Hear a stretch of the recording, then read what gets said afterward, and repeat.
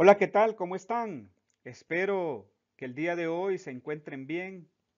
Les habla Miguel Antonio García, profesor del área de matemáticas del Centro Regional de Formación Permanente Centro Suroriente. Hoy compartiré con ustedes un contenido de tercer grado del área curricular de matemáticas que corresponde a la unidad número 12, operaciones combinadas. Lección 2, calculemos la operación según el orden. Hoy resolveremos ejercicios con operaciones combinadas. Lo que aprenderemos es a conocer que la multiplicación y la división se calculan antes de la adición y sustracción y realizar la operación según el orden. Este contenido lo encontramos en la página 112 del cuaderno de trabajo y la página número 146 de la guía del maestro. En la clase del día de ayer aprendimos que en la operación combinada, adición, sustracción, multiplicación y división, la multiplicación y división se realizan primero aunque no se usen los paréntesis. Entonces, para reforzar el contenido que vimos el día de ayer, pues haremos varios ejercicios. En el primero, nos piden que calculemos 450 menos 50 por 3. Vamos a ver, niños. ¿Qué van a resolver ustedes primero? Muy bien, tenemos que resolver 50 por 3. Excelente. Entonces nos va a quedar de la siguiente manera. 450 menos el producto que nos dé de 50 por 3, que es igual a 150. Entonces, menos 150. Ahora tenemos una resta de 450 menos 150. ¿Cuánto es, niños? Excelente. Es igual a 300. Por lo tanto, 450 menos 50 por 3 es igual a 300. En el ejercicio número 2 nos piden que resolvamos lo siguiente. 700 más 40 por 6. Ok, niños. Pregunto, ¿qué tenemos que resolver primero? Correcto, tenemos que resolver 40 por 6. ¿Y cuánto es 40 por 6? Vayan multiplicándolo ahí en su cuaderno. Entonces nos va a quedar igual a 700 ajá, más, correcto, más el producto de resolver 40 por 6. Entonces sería más 240.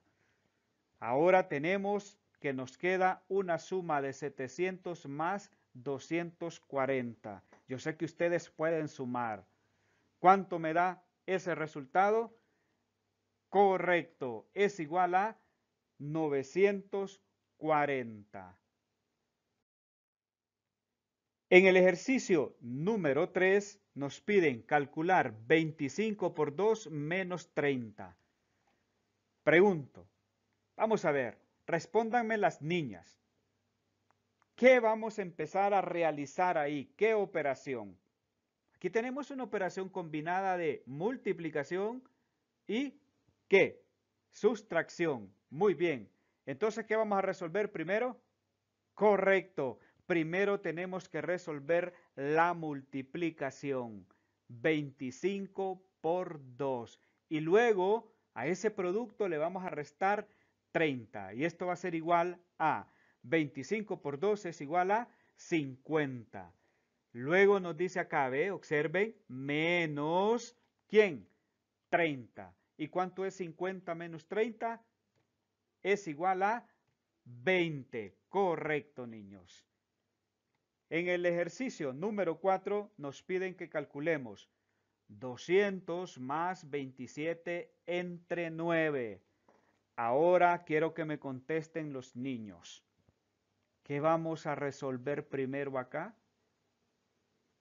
Así es, primero tenemos que resolver la división de 27 entre 9.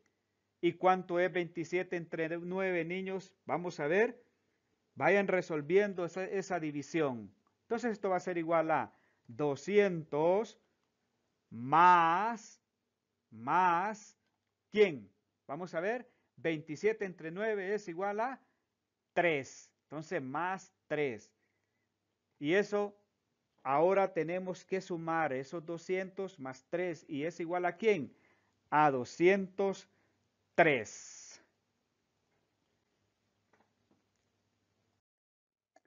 En el ejercicio número 5 nos piden que calculemos 320 menos 72 entre 8. Ok, chicos. Vamos a ver. ¿Qué tengo que resolver primero? La división. Correcto. Y esto va a ser igual entonces a 320 menos, menos lo que resulte de dividir 72 entre 8. ¿Cuánto es? Excelente, 9. 72 entre 8 es igual a 9. Ahora vamos a restar 320 menos 9. Y eso es igual a, vamos a ver, 311. Correcto, niños. En el ejercicio número 6, calcularemos 98 entre 7 más 110. ¿Qué vamos a resolver primero?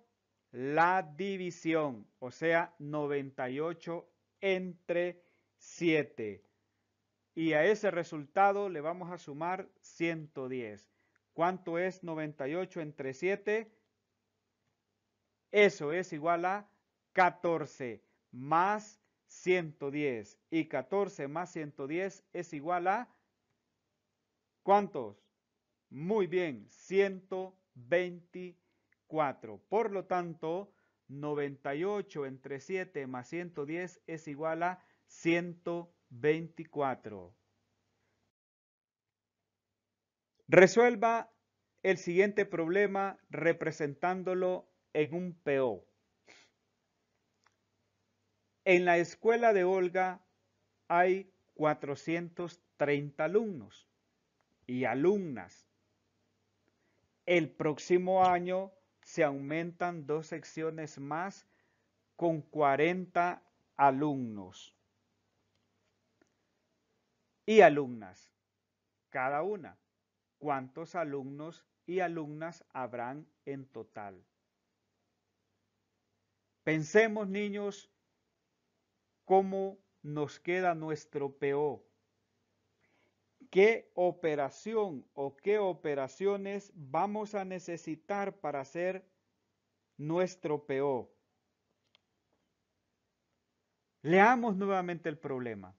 En la escuela de Olga hay 430 alumnos y alumnas. El próximo año se aumentarán dos secciones más con 40 alumnos y alumnas cada una. ¿Cuántos alumnos y alumnos habrán en total? Entonces, si tenemos 430 y se van a aumentar dos secciones más con 40 alumnos y alumnas, ¿qué vamos a hacer?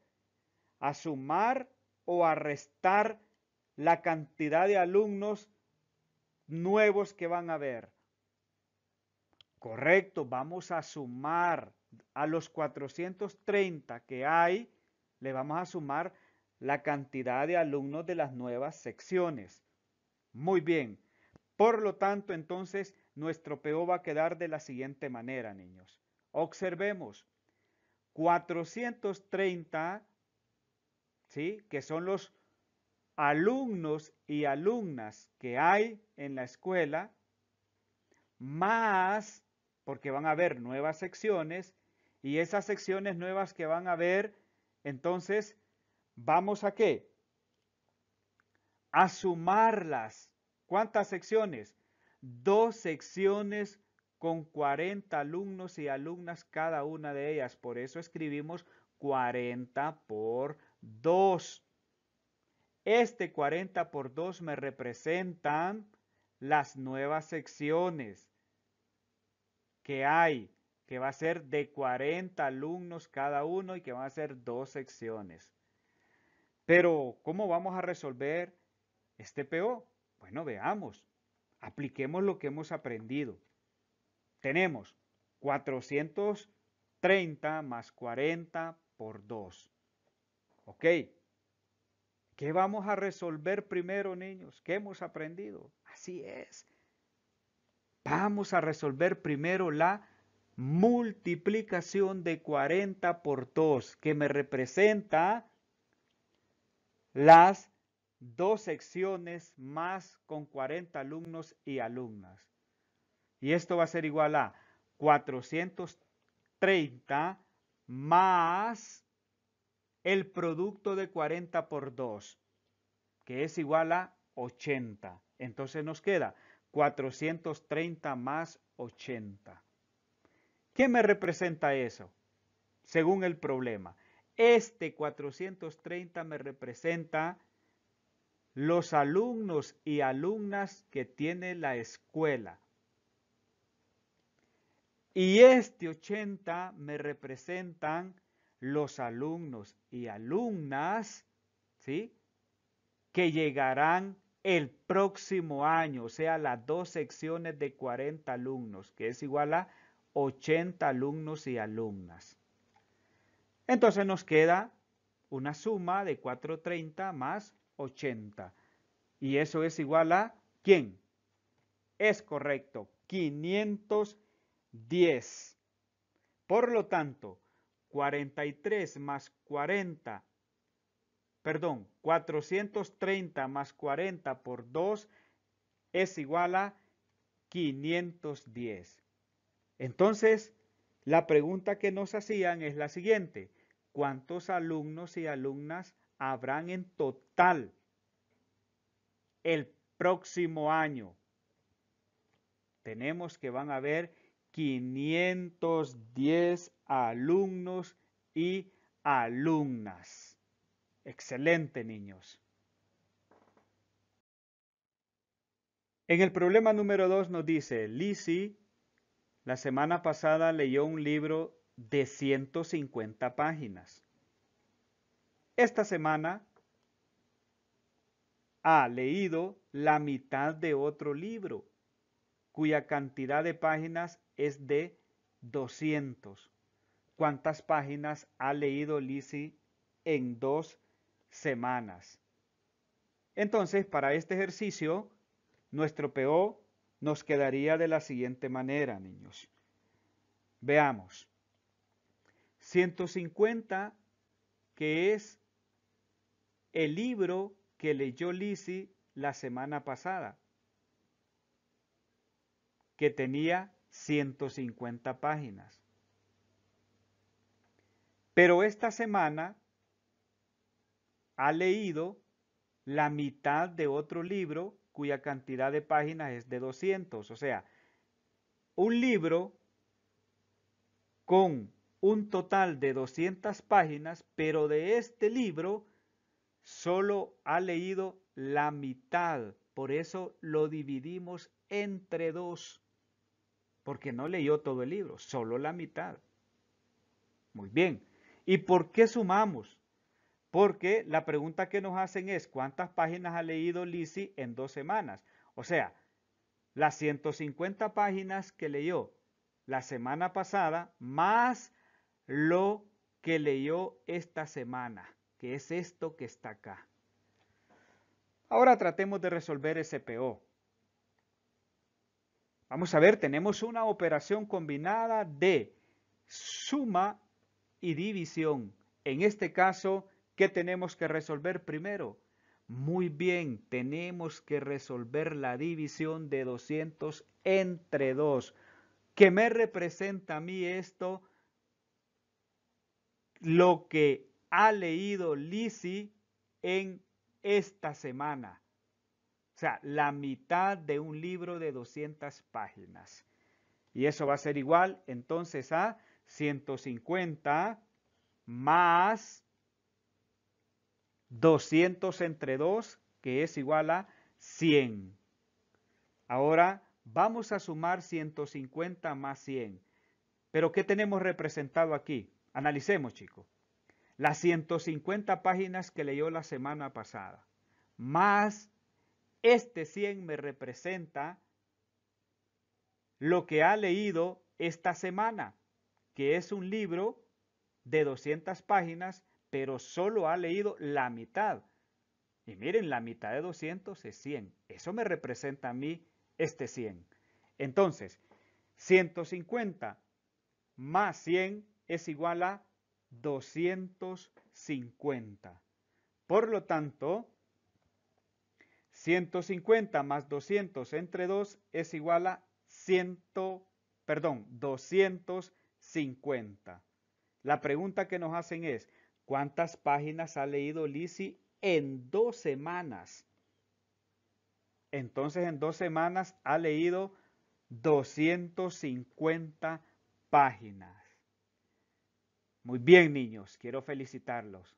Hoy nuevamente han trabajado muy bien.